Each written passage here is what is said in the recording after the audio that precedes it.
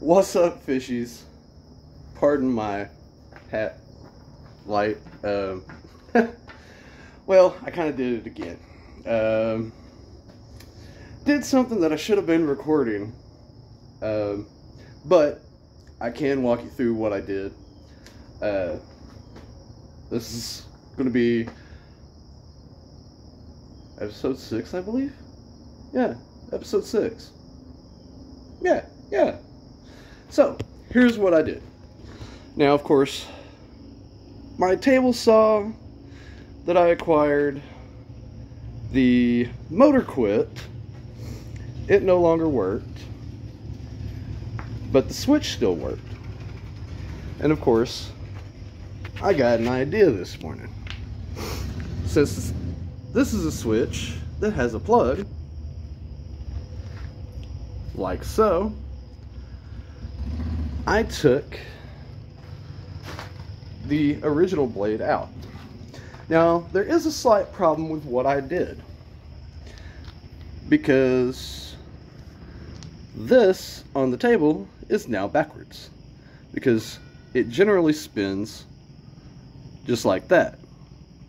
Now, this is exactly how it would be in the table like that. Now, you already see an issue, don't you? The blade's backwards. And this one spins this way. Now, I know you're asking, Doc, how'd you screw that up? Well, it kind of couldn't be helped because the way this plate is turned and the fact that this screw here is impossible to get out considering I don't have the tool, believe it or not, to remove a strip screw to where I could reverse that plate. So, for now, this is what I had to do. Which means I'll have to run the boards this way instead of this way, which is fine. I mean, I can work with that. Of course, you want to know exactly what I did. Well, uh, let's see if I can get the lights on under here. There we go. That's right. Regular old circular saw mounted to the table. Now, these brackets here was what made the blade go this way. Of course, that function wasn't working anymore either because everything was rusted out. So, as you can see, I put that one almost back identical to where it had been. And what I did is I secured it on the middle bolt here. I had to cut this edge off to where it fit right up here on this lip. And the other fits behind this piece right here. And that's what helps secure it. Then I drilled a hole here and put a screw and nut here to further help hold this in. Now, I'm going to try and get down low enough to where you can see on the other side what's going on. It's going to be kind of tricky. I zip tied the switch on because it now works off the original switch.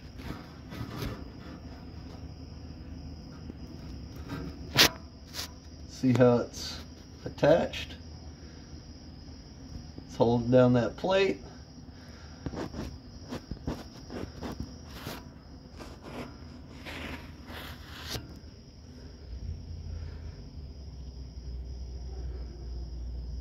Southern ingenuity at its finest.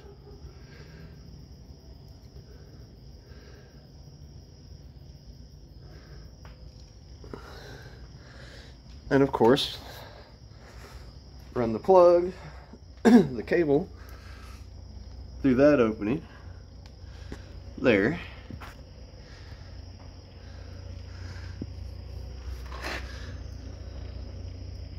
See, you can see where it's touching that plate in there.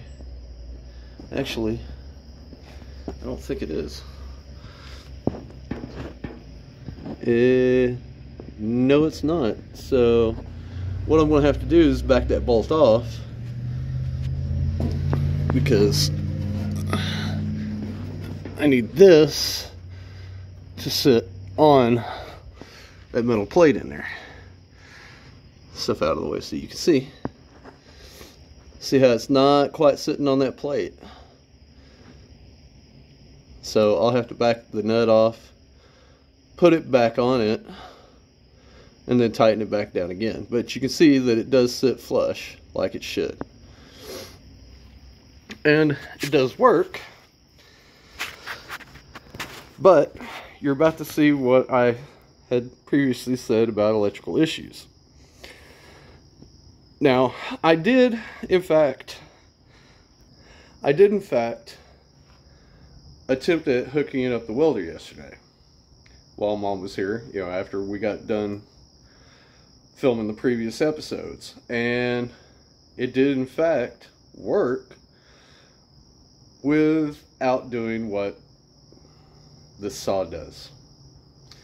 And that it works, and to show you what I'm talking about, you see the lights are on. You see them flicker?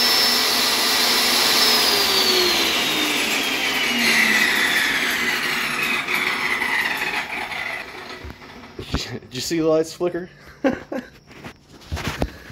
oh man, oh man. I mean, it is what it is, right? I mean, you got to do what you got to do to make things work. All that means is I'm to have to plug it in to a different outlet. Uh, maybe run a longer extension cord from the back porch because I know that that doesn't flicker the power any. Uh, but in the meantime, I've got a table saw again. And, you know, I'm really excited about that because that means I get to finish a lot of the stuff under the carport, which is going to make me happy. Uh, whether or not we'll film that, that's another question.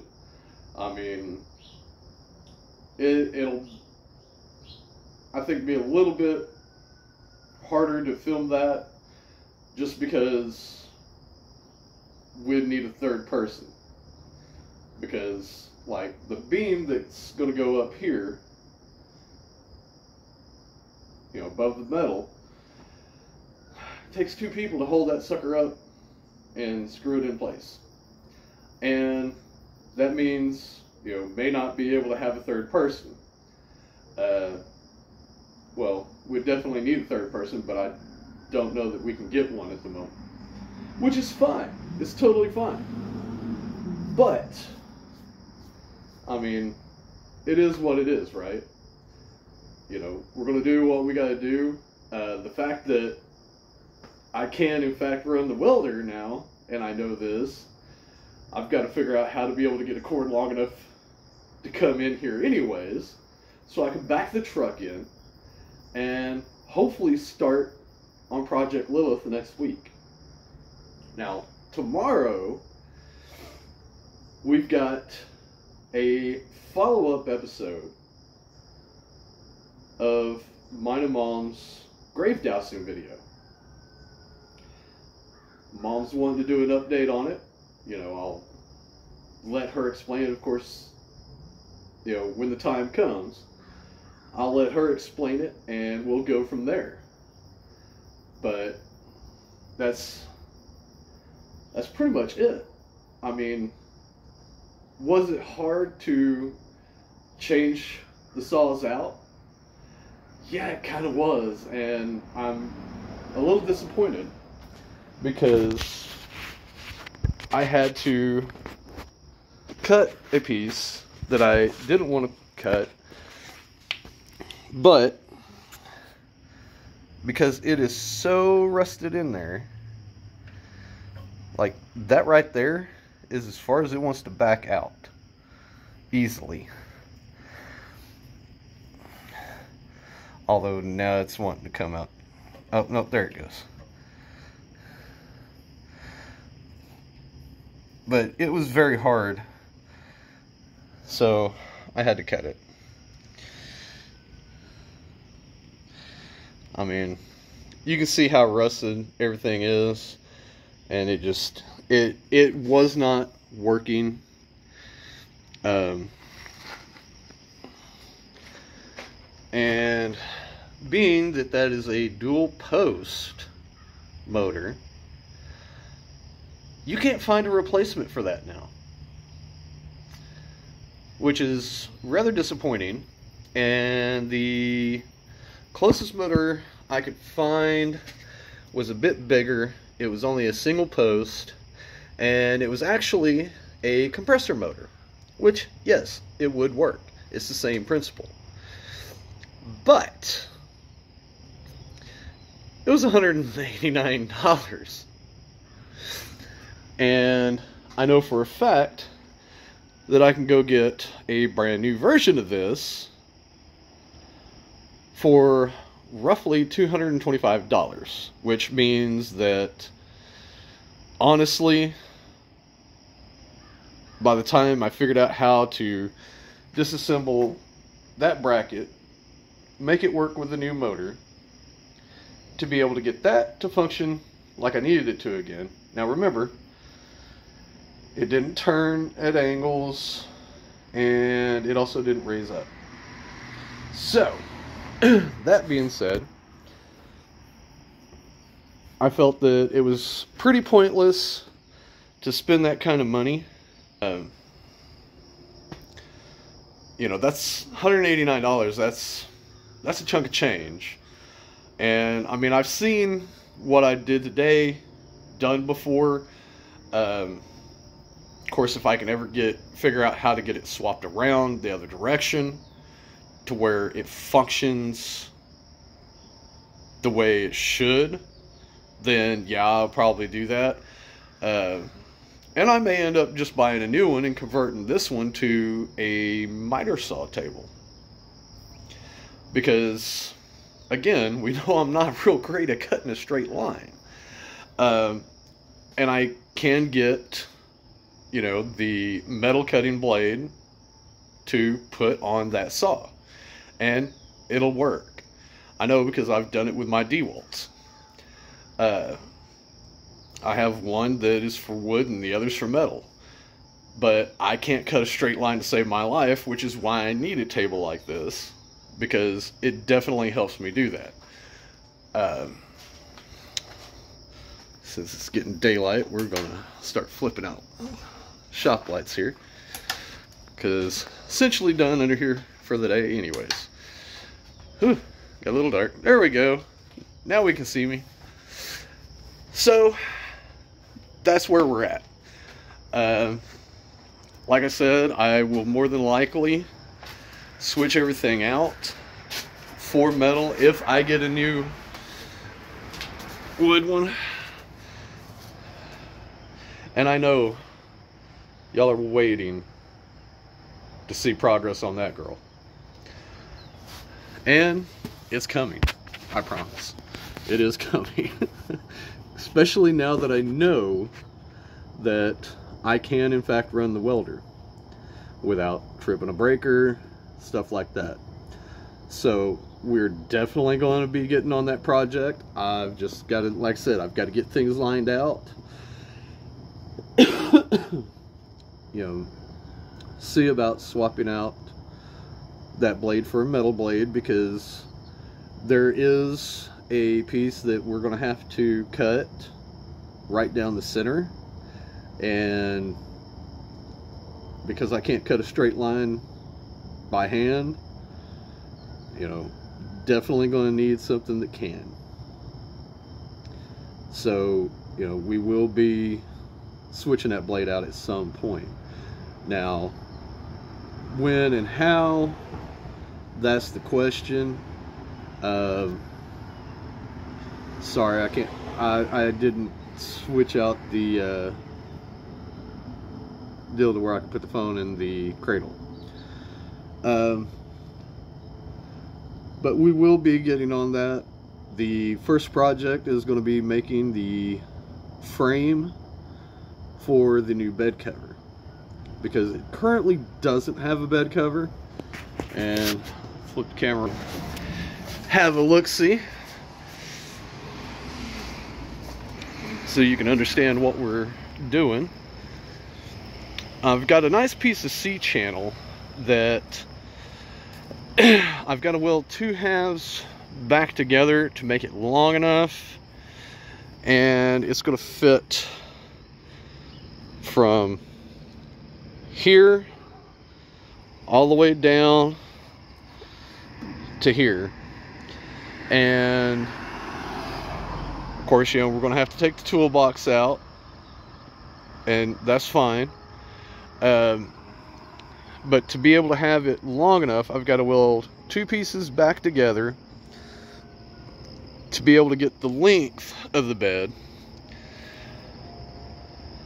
And once we get those pieces cut, get them bolted in, then comes the fun part. Because then we've got to put the toolbox back in and we're going to run well luckily I have a piece of angle iron to be able to show you exactly what we're going to do um, of course. It hasn't been separated. But to give you an idea of what's going on we'll attach a piece of angle iron to the frame butt it up right to the toolbox about right where it's at there. And once we do that and of course the piece of angle iron that I have it is longer uh, you know the top edge will sit flush with the top of the bed and you know, we're going to have another piece that runs on the inside, sitting just like this, but turned to where the L goes that way. Right down the side of each bed rail, uh, there will be one that goes in front of the tailgate here. Uh, and there'll be I think one right here and one right here as well or it may just be one from that post to this post uh, and that's what that's what the metal for the bed cover will sit on um, I've got to look and make sure I've got the right square stock, which I'm also going to have to cut in half. Uh, and I'm hoping I have a long enough piece that I can cut three pieces for the width of the bed because that way the metal will fit right on the top edge here and the square stock will touch here. It'll be like this, sitting there, resting on this. That way the metal doesn't go. Goes Laverne Reagan, going to go mow something. Uh, and the metal will sit, you know, flush with the edge of the bed. You know, that's that's the game plan on that. Uh, And of course, after that, we can build the headache rack to protect the back glass.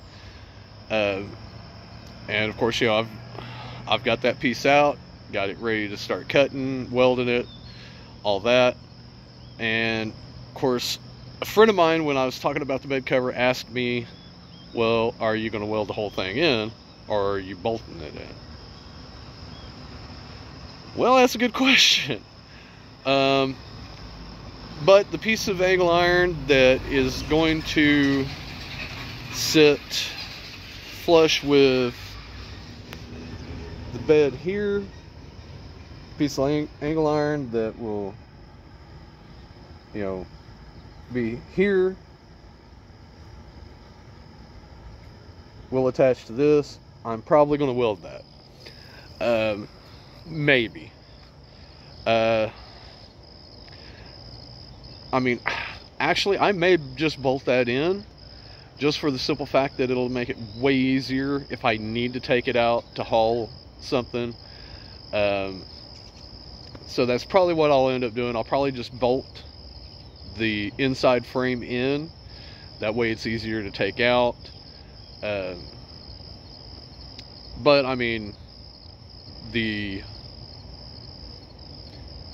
the flat part of the bed cover will be able to be taken out regardless.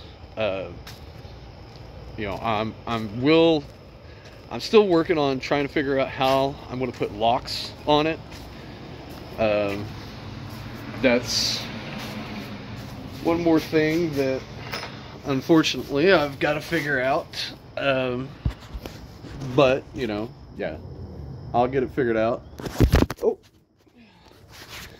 flipping a phone. I bet that was an interesting shot. Butterfingers this morning. Sorry.